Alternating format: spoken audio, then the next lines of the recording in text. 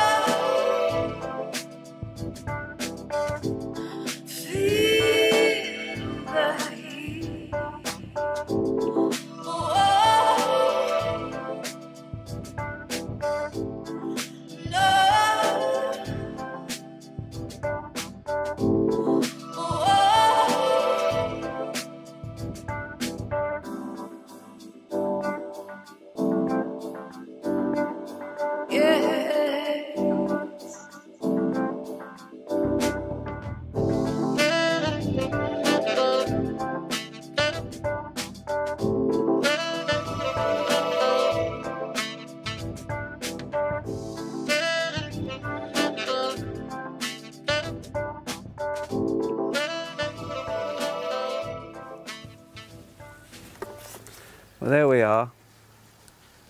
I'm catching a roach or rudd, mainly rudd, every casting.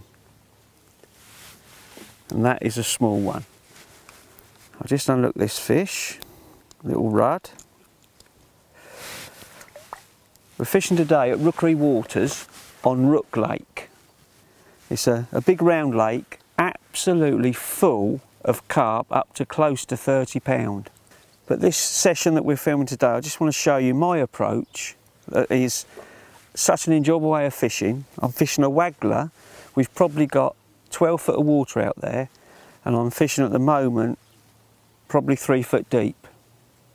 And I just want to show you a few tips on how to have a lovely day's fishing, fishing the waggler the Polly way, catching roach and rudd up in the water.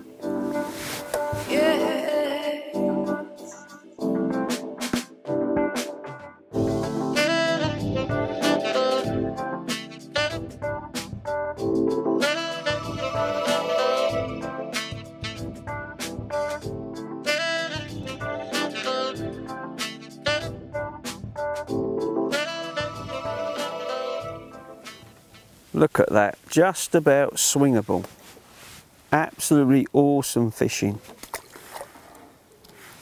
The beauty of this style, how I'm fishing, is that I'm not chucking very far, so I'm making it easy for myself. I'll feed some casters out there to show you because I've got the fish boiling now. It's probably 20 metres maximum.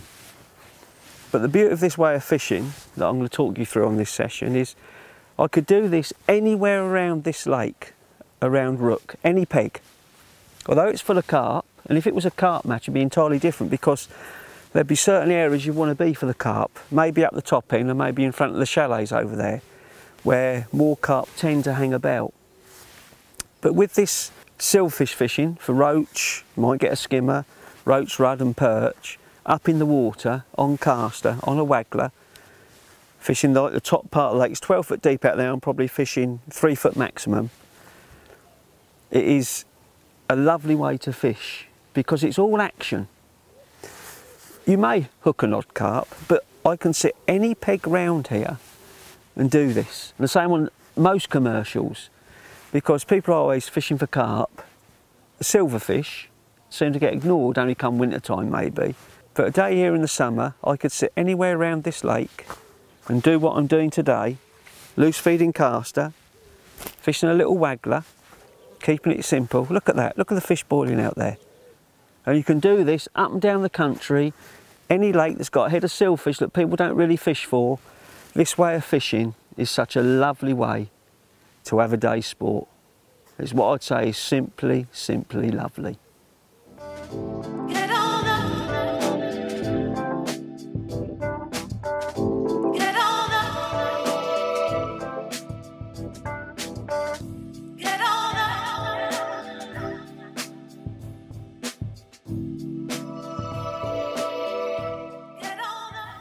Well, I just want to take you through uh, the rod, float, hooks, line, etc. I'm using. Um, it is, it's such a simple way of fishing. It's a Horizon Pro uh, Waggler, 13 foot one, four metres. It's probably a through action rod, like, like a medium Waggler. Um, you want something that's not too stiff. You want something that's just slightly softer top that obviously when you pull into the fish fishing shallow they kick, you know, getting fish up to eight ounces, you might get an odd pound fish. You know, just to take, soften that blow. And the rod then is very important for the hook length you're using. I'm using 010 pound micron hook length. So it's a lightish hook length.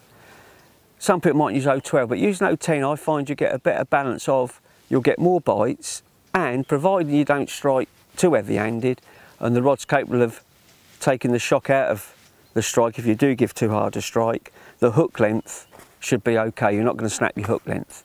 But if you if you fished 08, there's chances you could easily bump a fish. And when you come to swing them in, if some fish are swinging and not netting, you can swing in a slightly larger fish. So it gives you the best of both worlds. It's not too light and it's not too strong.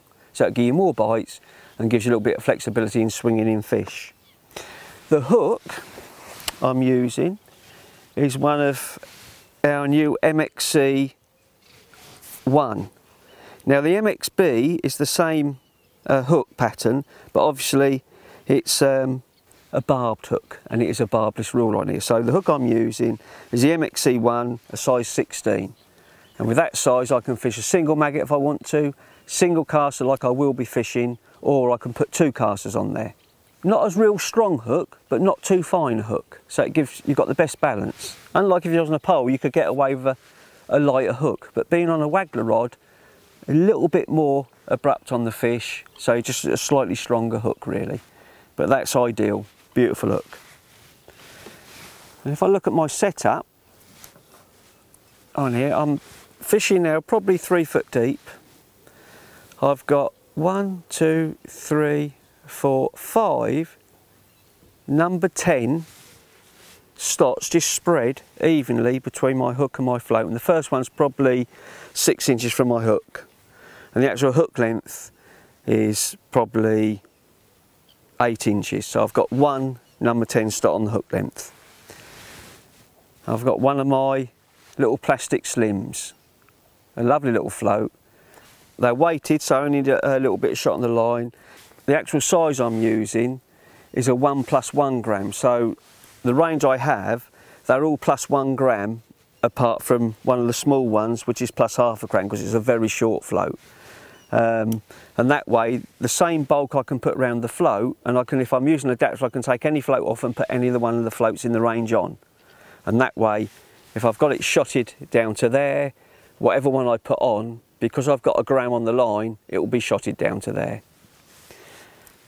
I've got a nice fine insert tip there, that's why it's called a slim, and that gives me better bite indication, obviously of a thicker tip. I can dot it down, cast out, I know I'm just reading the few shot, uh, stots that are going to fall through the water that short bit, but fishing that depth, you cast in, by the time you're fed, the float's gone and you picked up and you're in. But it's just something finer rather than a big thick top, just to see the bite indication. The other thing what I've done with this safe shot now, I've put onto my line little tiny silicon sleeves that you use for your pole floats and then I put that inside the shot and that doesn't harm the line because before I've been fishing, before I started to use silicon uh, to go on the inside of the, the shots where it's very damaging to the line, I've lifted up after catching a lot of fish and everything's just come loose where the shot has cut through the line. So by putting pieces of silicon on, you can then just set them inside the shot, close it together, and it's actually pushing the silicon is biting your line in the shot. It's not the shot being abrasive on the line where it would cut through. When we used to use lead, you didn't have that problem. With Safe Shot, it's the best way to stop it from damaging the line. And that is the simple approach. Real line I've got on there is 016, which is our Horizon reel line, which is I think about five pound. No, it's, it's four pound something. Um, so I could probably fish on that, although it's um, 016, I could probably fish maybe 018 if I wanted to, but I wouldn't. I'd fish up to 014 when I use it for chubbing, and I know that the hook length's going to break before the main line. because it's a little bit more robust and it is a lovely line. You can put uh, a sinker on it to make it sink or you can just keep it as a, a line that will float. A very uh, versatile line and it's a lovely colour to it. It's like a, an off grey, um, which I think is a nice colour to have. Um, and that's it, that's a simple set. Reels Horizon 3000. It's a big enough reel for casting distance, especially the distance you want to cover on the Waggler. I mean, I'm only chucking probably 20 metres, which that is ideal for, but that would cast a lot further. And that's the setup, very simple, very effective, and um, you'll see how many fish it can catch.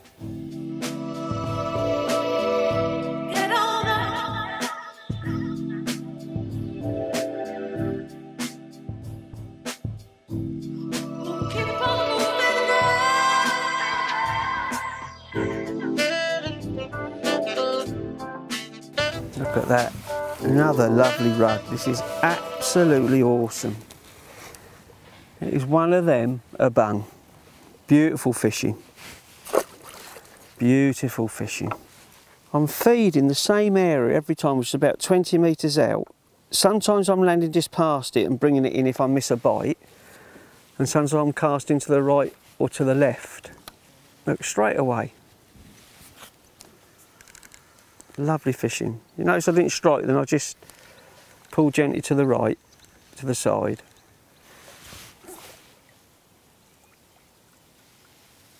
Look at that, absolutely lovely fishing. Lovely fishing. Just hooking the caster, just like a maggot. Because there's a lot of fish out there now, I'm feeding before I cast. Because I literally haven't got enough time to cast it and then feed. So I can keep just a gentle tight line, fish on. It's a gentle movement just to the left with the rod. No need to strike it, you just wind them on really.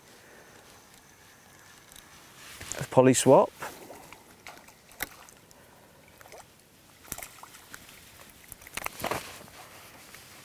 Awesome fishing, awesome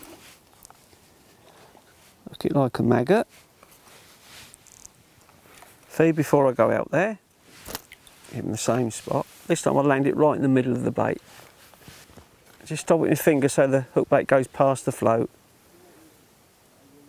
And she goes under, just pull to the to the right and they're on.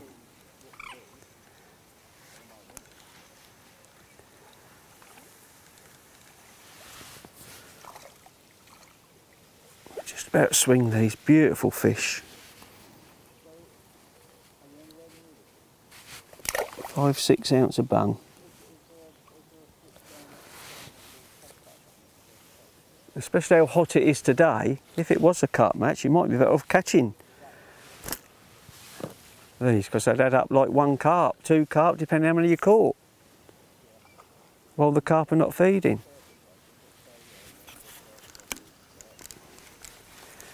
You see the Polly swap then? I'll show you it. It's just where I, I'm cack-handed. It feels natural I've tried to fish left-handed, tried to fish right-handed, although I am right-handed, but as you can see I'm casting the handles on that side. I'm holding it in my left hand. And the fish is on, and see I swap and wind it in the correct way. And as the fish getting nearer, I know I'm about to swing it, I swap back, swing the fish in.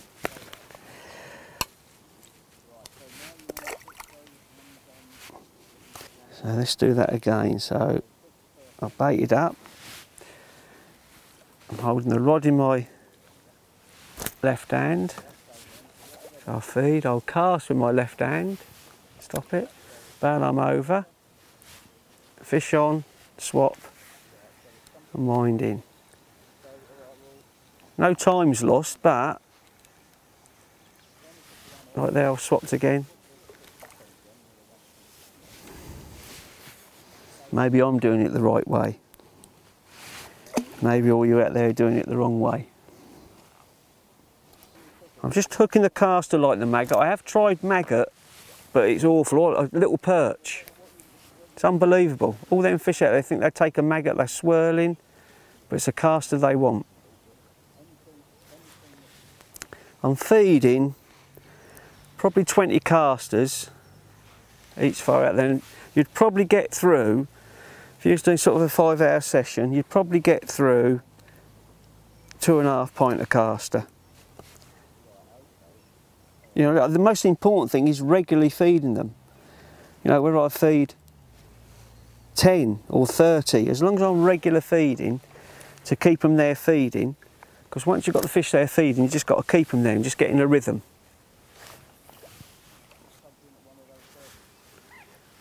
Now that time I cast to the right of my feed. It's a smaller fish, but sometimes you get a bigger fish casting to the right or the left, as opposed to casting right in your bait. I think the bigger fish come in, grab the bait that's falling just through the water, and then shoot to the left, shoot to the right, shoot to the near side, shoot just past. Listen, as soon as it goes in.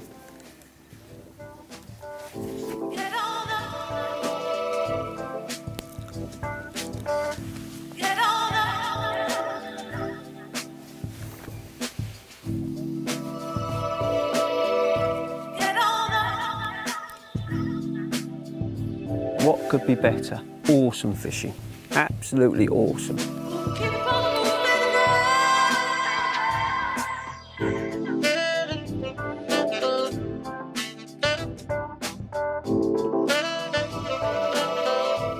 I've changed my depth again. I've changed it probably two or three times. I started at about three and a half foot.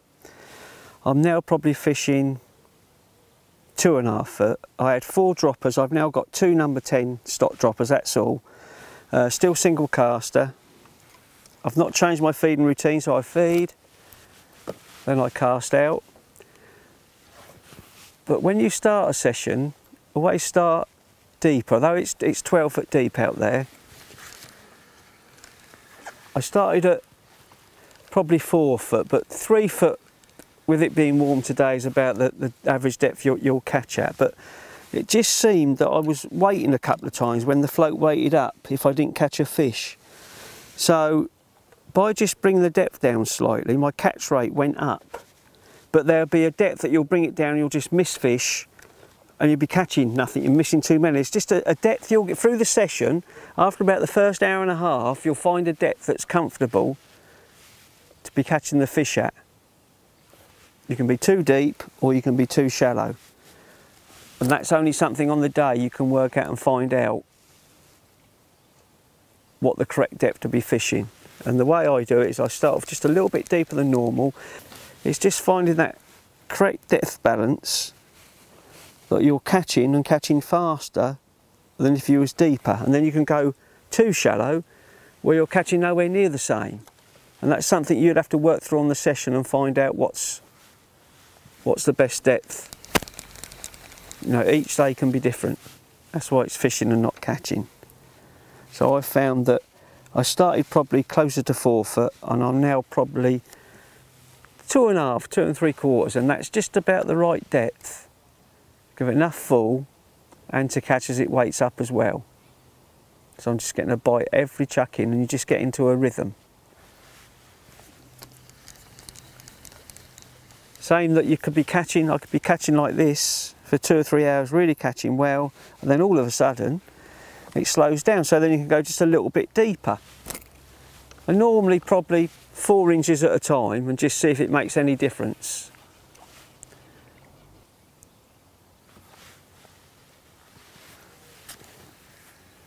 It's lovely fishing though.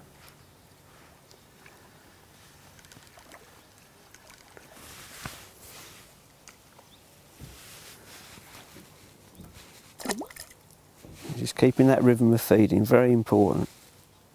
It's quite easy, just hook my, hook my caster on, put 20 to 30 casters in the pouch, feed them out there, and cast out to your feed, fish on. Very lovely. Can't beat this. Especially here at Rookery Waters on this, this lake I'm fishing that's rook. It's got great depth. Although there's a lot of carp in here, you can still have some great sessions. Fishing how I'm fishing, putting silverfish in the net every chuck. And today I've caught mostly rudd. I've had a few roach, but it's mostly been rudd. A few perch, but mostly rudd. Well, the lake is it's round with with, uh, with roach as well. I think it's just where it's hotter. The rudd are feeding more than the roach. It's lovely fishing. This is what they call a typical Polly peg. Well, it's the first carp I've hooked, is just about to finish. Maybe catch one more rod and I've hooked a carp.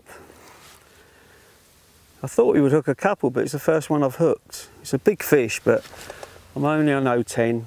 He'll probably kite in and just do me in the reeds, but got a chance. Let's see if we can get it out. Oh, he's out. He's just out. He's out. We won't have a chance. Never know. Oh no, I've got him away. Yeah, he's on the top there. Ghosty. Won't see him in a minute.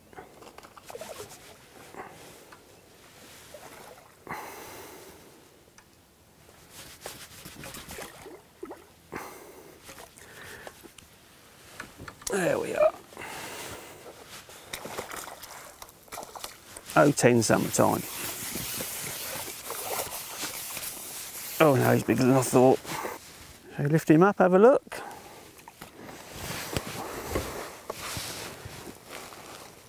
Right, big long fish.